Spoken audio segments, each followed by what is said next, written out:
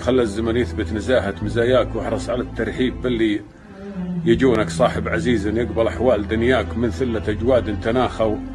العونك واللي مثل شرواك يطرب الشرواك يغليك لو بعض العرب. يمدهونك ولا تفرط في صلاتك المولاك زد من محاصيلك قبل يدفنونك.